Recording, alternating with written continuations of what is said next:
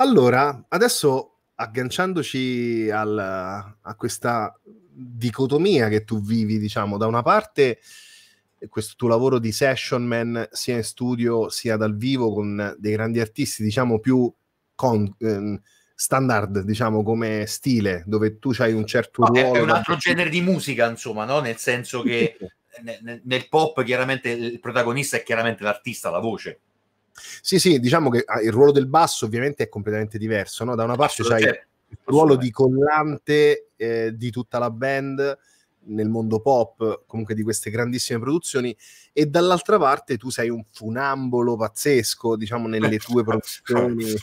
No, no, i funamboli sono ben altri, eh, veramente io ti ripeto, sai che ogni anno vado al NAM e, e, e mh, mm, ogni gennaio vado al NAM alla fiera di Los Angeles eh, perché sto eh, con Mark Bass nello stand e io lo consiglio a tutti i miei allievi, a tutte le persone. È una, una concentrazione di umiltà incredibile. Chiunque crede di avere qualsiasi tipo di velleità sul proprio strumento dovrebbe fare una, una, un quattro giorni di NAM e col primo cinese di sei anni che arriva sul palco e praticamente suona, suona tutto il tuo repertorio eh, che hai suonato prima di lui eh, con una mano sola magari.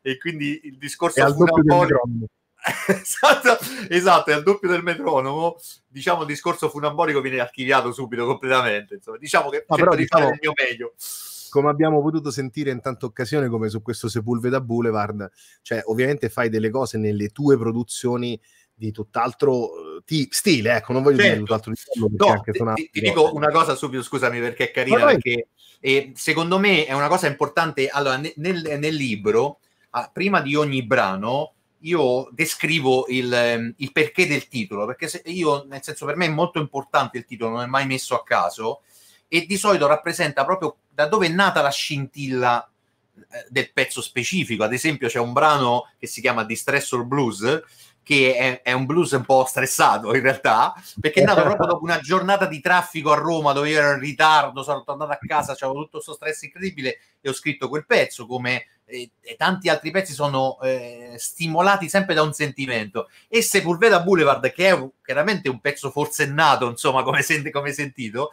in realtà perché viene dal fatto che io essendo appassionato di Los Angeles sono abbonato a tutti questi eh, sono i network no? tipo Fox News eccetera e una cosa che succede continuamente a Los Angeles è il fatto che tipo giorno di ordinaria follia c'è il, il pazzo che impazzisce e comincia a correre nelle highway con, con, con una macchina e chiaramente gli va dietro tutta la polizia di Los Angeles che non vede l'ora e chiaramente questa cosa è seguita dal network con l'elicottero, ok? E non mi chiedere perché, un po' perché è un modo per me per rivedere le zone magari che conosco. Eh. Io vengo ipnotizzato da questo tipo di trasmissioni e quindi magari mi metto lì e, e guardo mezz'ore sane la polizia di Los Angeles che insegue nei quartieri malfamati questo questo delinquente che o ha rubato una macchina o chissà che ha fatto. E quindi spesso quando avviene questa mia eh, ipnosi nei confronti di questi avvenimenti, so col basso in mano certo. e quindi ho riprodotto quello che vedevo, cioè questo è, rappresenta proprio in musica un inseguimento forsennato tra le strade di Los Angeles. e per quello ha il nome di una strada anche, infatti. Bene. Però ecco Mario, come fai tu a dividerti mentalmente su questi due mondi? Perché mi, mi, è capitato di conoscere tantissimi artisti, um, anche che lavoravano con dei grandissimi artisti nazionali e internazionali, che facevano una cosa specifica. Questo succede in particolare per voi, diciamo, della sezione ritmica, cioè che avete una, bisogno anche di una sì. quadratura costante, di un legame, di fa proprio da collante, perché se viene a mancare quel feeling di groove tra basso e batteria, i pezzi non girano. Però ecco, certo. ecco, ta- la maggior parte di questi che io conosco sono persone che suonano tendenzialmente quello, fanno quello. Come fai a dividerti mentalmente tra questi due mondi? Cioè, ok, io okay, ti, ti, ti, fa, ti, faccio subito una provocazione, no? E penso, quali sono i più grandi musicisti che tu conosci nel mondo del pop, ma nel mondo? A me viene in mente Vinicolo Aiuta, no? Che ha suonato nel mio disco e, e chiaramente è uno che nel suo curriculum ha tutto da Zappa a, a suonare al chiodo con Sting a, alla Notsworth e Jimmy Johnson uno dei più grandi bassisti viventi mi viene in mente Nathan East mi viene in mente Will Lee mi viene in mente Marcus Miller sono tutte persone che noi conosciamo per, le produzioni più importanti del pop, Abram Laboriel, ok? Mm-hmm. Quindi hanno fatto il pop molto prima di noi e molto meglio di chiunque di noi.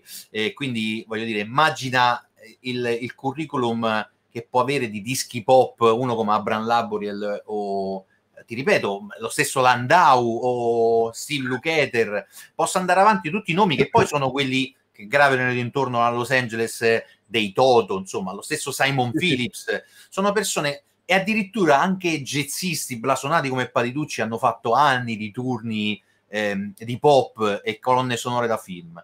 Ora, che cosa succede? Che in realtà, secondo me, quello è il segreto proprio per migliorarsi ancora di più. Il fatto di non rimanere agganciati a un genere, ma assorbire tante cose da tanti contesti diversi, da tanti generi diversi. E io faccio sempre l'esempio di Jimmy Johnson, perché secondo me è veramente quello che è più rappresenta questa cosa, no? Perché? Perché io ero ragazzino e ho avuto la fortuna, guarda, è stata una, una bellissima esperienza perché ehm, un mio caro amico che è Alex Travi, prendo occasione per, per salutare, che è, il, um, uno dei proprietari della Zenarte, una cooperativa di musicisti che organizza concerti, è il manager di Sig quindi è, è venuto a Roma, mi ha invitato al concerto e siamo stati nel backstage con loro e poi immaginare la ritmica era Stig e Jimmy Johnson cioè, praticamente ho, fa- ho, imparato più in quel, quel, pomeriggio che negli ultimi dieci anni, ok? Cioè, veramente è stato un concentrato di classe, eleganza, portamento.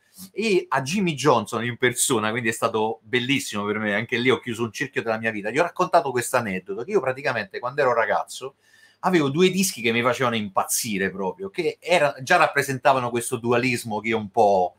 che era il disco di James Taylor, il live di James Taylor, che era suonato con una classe, con un'eleganza, di, proprio una, una, maniera di accompagnare i brani che veramente mi colpiva, mi emozionava. Io andavo mm-hmm. a vedere i credit e, le, e, leggevo Jimmy Johnson, no? E l'altro disco che mi faceva impazzire era Secrets dalla Notsworth, che chiaramente consideravo una cosa talmente tanto diversa che pure se leggevo Jimmy Johnson dicevo, vabbè, Johnson, cioè Mark Johnson, eh, Louis mm-hmm. Johnson, sono tutti omonimi questi, no? Invece era lui per anni ho creduto che erano due persone diverse perché non potevano essere la stessa persona. E invece potevano essere la stessa persona e non solo erano, ed è il musicista incredibile di enorme sensibilità che è Jimmy Johnson e che veramente ha, fatto, ha creato le pagine più delicate di musica e chi è appassionato di James Taylor sa di, co- di cosa parlo, veramente con tre note, con un suono stupendo, un tocco che ha insegnato a tutti a suonare pop e contemporaneamente è quello che ha suonato su Secrets che praticamente in una misura si stanno tutti gli accordi del disco di James Taylor. Ok? Tutti in una misura ok? Però, però in 11 sedicesimi ok? Ora tra le altre cose mi ha raccontato lui che a differenza di quello che si immagina Alan che era chiaramente Alan Ozzort che era un marziano non scriveva niente, non gli andava, non, non si metteva lì. Chiaramente poi scrivere le cose che suonava lui era difficilissimo, quindi si rompeva e quindi gli faceva no guarda è semplicissimo è così senti pa, pa, ta, pa, ta, ta, ok? E minimo minimo lui stava lì che scriveva appunti e, e minimo minimo era un tempo assurdo in sette e c'erano sei accordi però in quella misura da sette ok? Allora Jimmy Johnson è la stessa persona e per questo è di quella sensibilità. Anzi io arrivo a dirti questa cosa io da quando ho fatto il disco e quindi da quando ho espresso ho messo in evidenza anche queste attitudini che ho riesco a suonare molto meglio, in maniera molto più rilassata e molto più distaccata, essenziale, anche con gli artisti. Perché in realtà eh, riesco ad annullare ancora di più l'ego, perché a quel punto, in quella maniera, è, l'ho messo solo lì, no? Quello che, diciamo, in qualche modo è una parola brutta, però quello che so fare, no? Quello che certo. altro ho nelle possibilità, e, diciamo, musicali. A quel punto, nel suonare con l'artista, io ho solo il ruolo di, di far sta bene lui e basta. Certo. E quindi ti ripeto, non solo eh, lo, lo, considero, eh, voglio dire, una cosa che pe- però, come vedi, dai miei gusti musicali è sempre stato naturale, perché ascoltavo eh, contemporaneamente De Gregori, Pino Daniele e Alan Holdsworth e, e, e, voglio dire, e poi il rock, tra le altre cose, come ti dicevo, perché mi piacciono le docce di Pepper, eccetera. Quindi per me sarebbe impossibile poter concentrarmi solo in un genere di musica, perché chiaramente è una cosa che ti limita, è come, immagina che la musica è come il mondo, no? E suonare vari generi e viaggiare. conoscere il brasiliano. Nel mio disco si sta musica africana, c'è eh, il Brasile. Nel prossimo disco sto mettendo un pezzo flamenco, un pezzo Madonna. con flauto giapponese.